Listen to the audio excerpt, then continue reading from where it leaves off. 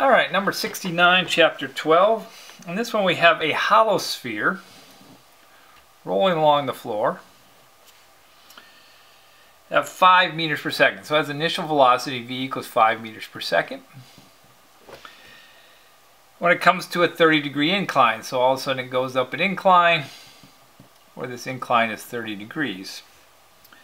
How far up the incline does it roll before reversing direction? So it's going to roll up here, it's going to run out of energy, it's going to stop somewhere. We want to know that distance d that it rolls up there. All right, so this is a rolling problem. And as a rolling problem, we do it as energy. Now in this case, it's already rolling with a certain velocity, so its energy is both translational and rotational kinetic energy. When it gets to the top, we're going to convert all this to gravitational potential energy, where this is h. All right, so what we want to do is figure out what h is, and then we're going to convert that to d by using just a right triangle. So let's solve this for h. So h is just going to be equal to 1 half mv squared plus 1 half 1 half i omega squared all divided by mg. Okay, but then we have to look up what I is.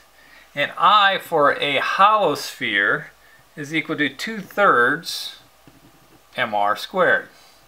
That came from the table uh, on page 300. So we have 1 half mv squared plus 1 half of 2 thirds of m r squared times omega squared, which is equal to v squared over r squared, all over mg. Now the good thing is the masses all cancel out, which doesn't do any, makes it simpler. The 1 half cancels with that, and the r squareds cancel there. So we're left with h is equal to 1 half of v squared plus one third of v squared all over g. Well, we can simplify this still, and we say v squared over g is 1 half plus a third.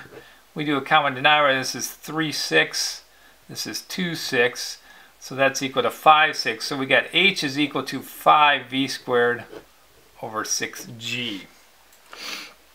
And when we plug in the numbers for that, we get h is 2.126 meters.